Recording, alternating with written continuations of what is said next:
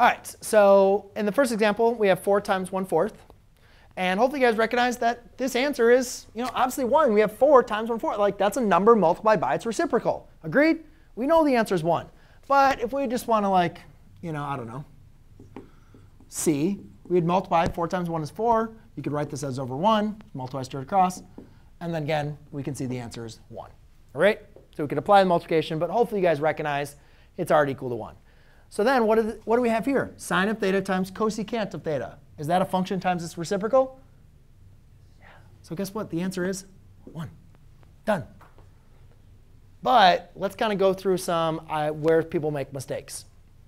Some people say, well, I could rewrite this as 1 over cosecant times cosecant of theta. You're right. Cosecants divide out. That leaves you with 1. Or some people say, well, I like to write things in terms of sines. So I'm going to rewrite cosecant as 1 over sine. Divide out equals 1. And then you have the student that does it to both of them. Well, crap. What is 1 over cosecant of theta times 1 over sine of theta? I don't know. Didn't really help us simplify, did it? Do you see how these two, something divided out? Yes? Here, nothing divides out. Did the student do something wrong? No. They applied the identities correctly. It just they didn't apply the correct identities. Um, they applied the, they didn't apply them correctly to simplify the problem. So that's where this chapter gets confusing, guys. Is people always like you have to start kind of being strategic on when to apply identities and when not. Our goal here is to simplify them. So we want something here to divide out. So by applying the identity to both of them does not help us simplify. Okay?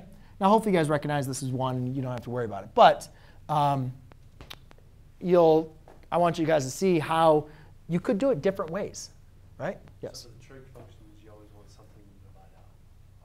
Always. I mean, typically, if you're trying to simplify something, right?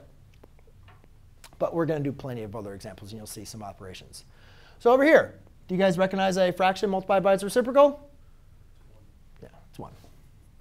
But if you're like, eh, I'm not really sure, could you also just divide and then say, oh, 12 divided by 12 is equal to 1, right? Now, I could rewrite these as 1 over cotangent, or I write this as 1 over tangent, and I'd get the same answer, right? I could also, what if your brain immediately went to the quotient identity? Tangent is sine over cosine.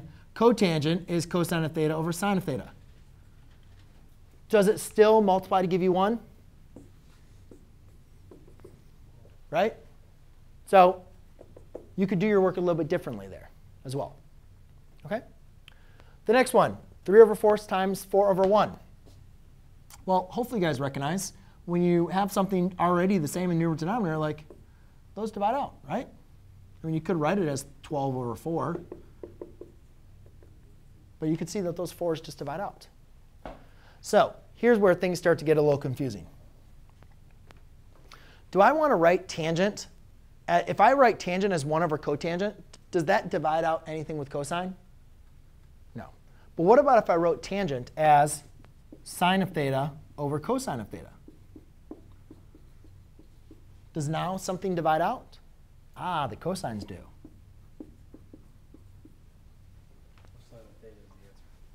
So sine of theta would be the answer. And then what about over here? If I rewrite cotangent as 1 over tangent, does that simplify it? No. If I write cotangent as cosine over sine, does that simplify it? No. See, if you're, when in this case, what we're going to want to do is actually, if I rewrite this, I can rewrite this as 1 over cosine. How could I rewrite this in terms of cosines? Oh, I could rewrite this as cosine of theta over sine of theta times 1 over cosine of theta. So in this problem, we need to apply the identities to both of them. Sometimes it's applying one identity. Sometimes it's applying both identities. You know what I'm saying? Like, it's tricky. There's no right way to always do the problems. You have to practice at these. And here, I see that this cosines divide out. So that leaves me with 1 over sine of theta. And 1 over sine of theta can be simplified to cosecant. And the reason why um, the reason why we want to go to this next step is typically it's a little bit simplified, or oh, especially on a multiple choice problem when you're not looking at your phone.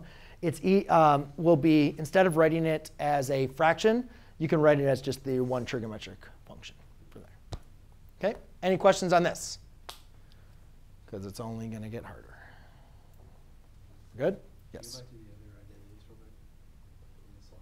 What?